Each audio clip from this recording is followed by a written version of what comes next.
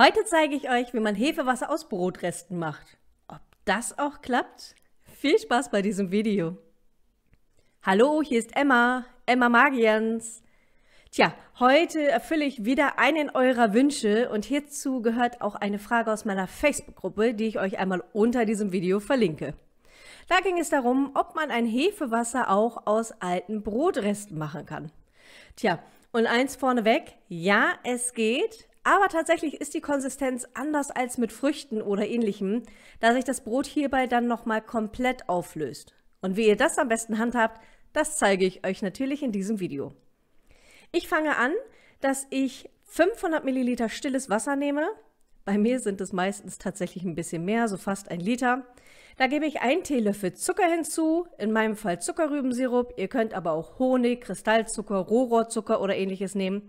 Bitte aber keinen Fall ähm, den Birkenzucker, diesen Xylit, das funktioniert nicht. Und dann nehmt ihr noch zwei Esslöffel eures Anstellgutes. In dem Fall sind es bei mir getrocknete Brotreste, die ich klein geschnitten habe. So, und das Ganze handhabe ich wie jede andere Hefe, die ich selber herstelle. Oben rechts verlinke ich euch auch noch meine Playlist. Hm, und die ist dann fertig, wenn sie ein bisschen alkoholisch riecht. Fruchtig geht ja nicht, es sind ja auch keine Früchte drin.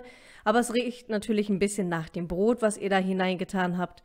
Morgens und abends schüttel ich das Ganze, damit sich hier kein Schimmel bildet. Und dann gucke ich mal, so circa zwei bis vier Tage brauche ich meistens bei mir bei Zimmertemperatur. Das kann aber auch kürzer oder länger gehen, je nachdem wie warm oder kalt das bei euch in der Umgebung ist. Setzt euch da aber auch bitte nicht unter Druck, da ist kein Muss und das ist wirklich ein fantastisches Ergebnis. Guckt mal. Das ist jetzt der zweite Ansatz. Das heißt, ich habe das schon einmal verlängert, weil ich das schon zum Backen benutzt habe und das hat hervorragend geklappt. Das kann ich euch wirklich versprechen. Und hier habe ich sogar ein großes Stück Brötchenrest genommen. Also ich glaube, ein halbes oder ein ganzes habe ich da einfach so reingeworfen. Und das muss ich ja jetzt irgendwie versorgen, denn ich versuche immer das Anstellgut mitzuverarbeiten. Dafür habe ich natürlich auch schon ein paar Rezepte, verlinke ich euch oben rechts mal die Playlist. Das heißt, das Anstellgut, was ihr für euer Hefewasser habt, das kann man auch wieder weiterverwenden. Egal, ob ihr Kräuter habt, Früchte oder wie in diesem Fall Brotreste. Gibt ganz viele Möglichkeiten und lasst euch da wirklich überraschen. Das Hefewasser ist wirklich multifunktional und ich bin so dankbar, dass ich damit jeden Tag backen kann. Denn das Gebäck ist nicht nur bekömmlicher, gerade wenn ihr Probleme mit euren Mägen habt, sondern es ist auch viel gesünder. Und in den nächsten Tagen zeige ich euch mal einen Test, was passiert, wenn man 30 Tage lang jeden Morgen das auf nüchternen Magen trinkt. So, ich habe jetzt hier meine Küchenmaschine. Da habe ich ähm, das Hefewasser einmal hineingegeben in meinen Smoothie Maker, also in meinen ganz normalen Mixer. Ihr könnt auch einen Pürierstab oder ähnliches nehmen, das funktioniert genauso. Dann püriere ich alles einmal fein.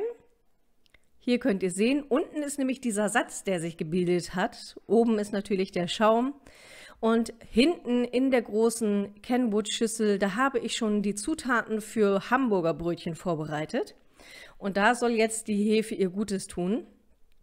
Und ich kann euch so schon sagen, es hat super geklappt. Die Brötchen haben lecker geschmeckt.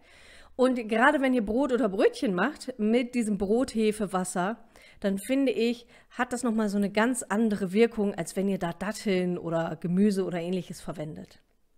So, und ähm, übrigens, wenn ihr hier neu auf dem Kanal seid und noch gar nicht wisst, äh, wieso ich das hier alles mache und ihr noch mehr darüber erfahren wollt, warum ich Hefe selber herstelle und hierzu auch Videos sehen wollt mit abwechslungsreichen, köstlichen Rezepten, dann abonniert den Kanal und aktiviert die Glocke.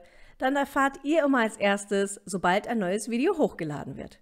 Und wenn dir dieses Video gefällt, dann gib ihm natürlich einen Daumen hoch und am besten teilst du es, damit so viele Leute wie möglich erfahren, wie einfach und unkompliziert man Hefe selber herstellen kann.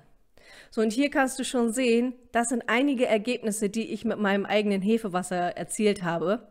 Und das hier ist jetzt ein Brotteig aus Altbrot, gemacht mit dem Brot-Hefewasser. Und der ist mir tatsächlich ein bisschen übergegangen. Also ich hatte wirklich keine Zeit, den zu verarbeiten und ich hatte wirklich die doppelt und dreifache Menge hergestellt. Und da habe ich es ganz einfach gemacht. Ich habe den Esslöffel einfach in Wasser getunkt und steche mir da so ein paar Brötchen ab. Das ist so ungefähr wie diese Schweizer Bürli. Da habe ich ja auch schon mehrere Rezepte gezeigt. Und ähm, ohne Sauerteig, da hatte ich die ja auch einmal abgestochen, weil das ganz viele machen. Das ist einfach und unkompliziert und die Brötchen sind trotzdem sehr lecker. So, und während ich das hier im Hintergrund mache, bleibt mir auch endlich mal Zeit, mich bei meinen Mitgliedern zu bedanken. Seit einiger Zeit biete ich ja hier die YouTube-Mitgliedschaft an. Das bedeutet, jeder, der möchte, kann mich hier ein bisschen unterstützen, damit die Videos für euch noch besser und professioneller werden. Gerade kürzlich habe ich mir ja endlich ein Mikro angeschafft, damit der Ton für euch viel angenehmer und schöner ist. Und wenn ihr mich auch unterstützen wollt, dann schaut mal unter diesem Video, da verlinke ich euch natürlich alles. Ebenso wie das Equipment, wenn ihr darüber etwas kauft, auch damit könnt ihr mich unterstützen. So, und diese Brötchen wandern jetzt gleich in den Backofen und ich freue mich schon riesig darauf. Und wenn ihr irgendwelche Fragen oder Anregungen habt, schreibt es mir in die Kommentare. Euch wünsche ich viel Spaß mit den Videos, die ich euch jetzt hier anzeige. Eure Emma.